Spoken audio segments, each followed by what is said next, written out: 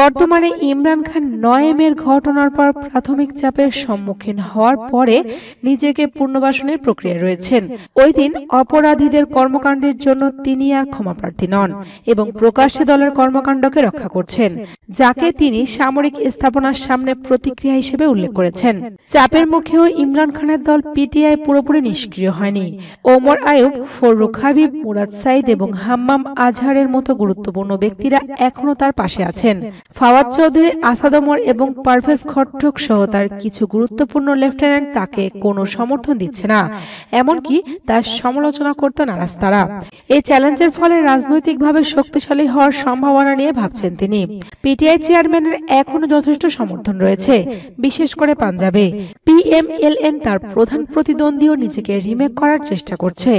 উনত্রিশ বছরেরও বেশি সময় ধরে পিএমএলএন পাঞ্জাবের নির্বাচনে আধিপত্য বিস্তার করেছে। পিএমএলএন এর নির্বাচক মণ্ডলী একে দুর্বল করার একাধিক প্রচেষ্টা সত্ত্বে অবিচল রয়েছে। গত চোদ্দ মাসে দেখা যায় প্রচণ্ড মূল্যস্ফীতির ফলে দলটি মারাত্মক ক্ষতির মুখে পড়েছে। পিএমএলএন বর্তমানে অ্যান্ড্রন লাহোরের বাসিন্দাদের সমর্থনের উপর দৃঢ়ভাবে নির্ভরশীল।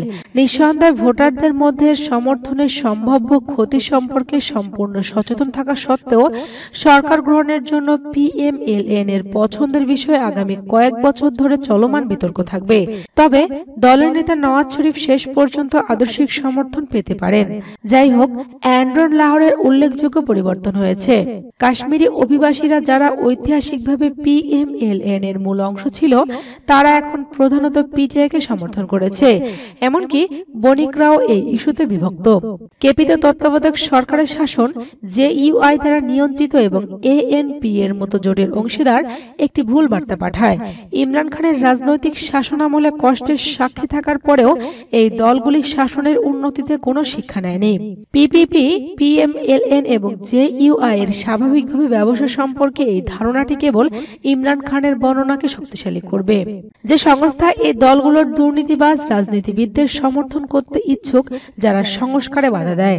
এটি মনে রাখা গুরুত্বপূর্ণ, ইমরান খানের প্রতি অপছন্দ স্বয়ংক্রিয়ভাবে পিএমএলএন এবং পিপি এর সমর্থনে রূপান্তরিত হয় না। এই দলগুলো শাসন ব্যবস্থা যত বেশি কলঙ্কিত এবং অকার্যকর হবে, এটি বর্তমান সংস্থা সুনামকে তত বেশি কলঙ্কিত করবে এবং পিটিআই চেয়ারম্যানের অধ্যবদিত অবস্থানকে শক্তিশালী করবে। কেপি এবং পাঞ্জাবের তত্ত্বাবধায়কদের শাসনের কোনো ইঙ্গিত থাকলে, এটি ফেডারেল স্তরের পাশাপাশি সিন্ধু এবং বেলুচিস্তানে আসন্ন তত্ত্বাবধায়ক সরকারগুলির জন্য ভালো ইঙ্গিত দেয় না। এটি ইমরান খানের জন্য এই দলগুলির বিরুদ্ধে জনগণের মোহভঙ্গকে পুঁজি করার জন্য আরও গোলাবারুদ সরবরাহ করে। ইমরান খানের কূটনৈতিক প্রচেষ্টার কিছুটা ফল দেখাতে শুরু করেছে। আইএমএফ এর সাথে তার সাক্ষাৎ তাকে উদ্দেশ্যের একটি নতুন অনুভূতি দিয়েছে, যা তিনি তার কর্মী, সমর্থক এবং অনুসারীদের আত্মাকে উন্নীত করতে ব্যবহার করেছিলেন।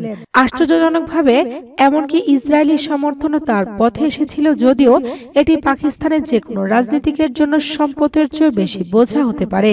জাতিসংঘে ইসরায়েলি প্রতিনিধি সাহসিকতা গাজা এবং পশ্চিম তীরে তাদের নিজস্ব কর্মকাণ্ডকে সুবিধাজনকভাবে উপেক্ষা করে মানবাধিকারের জন্য পাকিস্তানের সমালোচনা করা স্পষ্ট ছিল। যাই হোক, ইমরান সম্ভবত তার প্রাক্তন শ্বশুরবাড়ির মাধ্যমে ইহুদি মহলের সমর্থন অর্জন করতে সক্ষম হন। এটি সম্ভাব্যভাবে ভবিষ্যতে পাকিস্তানি কর্তৃপক্ষের উপর চাপ সৃষ্টি করতে পারে। কারণ ওয়াশিংটন সহ পশ্চিমা রাজধানীগুলোতে ইসরায়েলি লবির শক্তিশালী সংযোগ রয়েছে।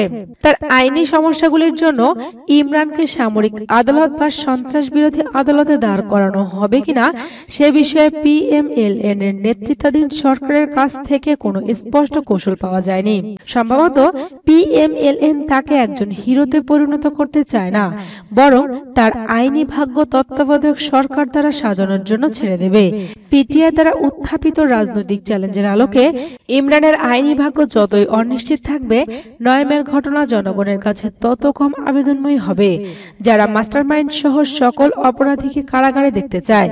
যে কোনো পশ্চিমা গণতন্ত্রে আদালত নয়মে ঘটনার অপরাধীদের দ্রুত শাস্তি প্রদান করবে। ইমরান খান অনুগ্রহ করে পতিত হয়েছে। যদিও জনসাধারণের ধারণা উদ্বিগ্ন। এখনও পর্যন্ত খেলার বাইরে নয়। এদিকে পাকিস্তানের প্রধানমন্ত্রী শাহবাজ শরীফ ঘোষণা দিয়েছেন যে মেয়াদ শেষ হওয়ার আগেই আগামী মাসে অন্তর্বর্তীকালীন সরকারের হাতে ক্ষমতা হস্তান্তর করা হবে। লাহোরে সরকারি এক অনুষ্ঠানে বক্তব্য দেওয়ার সময় এই ঘোষণা দেন তিনি। এ সময় বড় ভাই নওয়াজ শরীফের প্রতি ইঙ্গিত করেন তিনি। দুই হাজার আঠারো সালের বারোই আগস্ট তৎকালীন প্রধানমন্ত্রী ইমরান খানের দল পিটিআইয়ের নেতৃত্বাধীন সরকারের অধীনে পাঁচ বছরের মেয়াদের পার্লামেন্টে যাত্রা শুরু হয়। কিন্তু পুরো সময় ক্ষমতায় থাকতে পারেনি পাকিস্তান, তেহরিক ইনসাফ গত বছরের এপ্রিলে অনাস্থা ভোটে ক্ষমতাচ্যুত হন ইমরান খান। পিটিআই সরকারের পতনের পর প্রধানমন্ত্রী হন শাহবাজ শরীফ। সে ক্ষমতাসীন জোটের অধীনে সংসদের মেয়াদ সম্পূর্ণ হতে যাচ্ছে আগামী মাসে। এদিন লাহোরে দেওয়া বক্তব্যে শাহবাজ শরীফ বলেন, পার্লামেন্টের মেয়াদ শেষ হওয়ার আগে অন্তর্বর্তীকালীন সরকারের কাছে ক্ষমতা হস্তান্তর করা হবে। লাহোরের শিয়ালকোটে দেওয়া বক্তৃতায় তিনি বলেন, আমাদের সরকার আগামী মাসে তার মেয়াদ পূর্ণ করবে। আমরা আশা করছি মেয়াদ শেষ হওয়ার আগেই বিদায় নেব এবং নতুন অন্তর্বর্তীকালীন সরকার দায়িত্ব নেবে।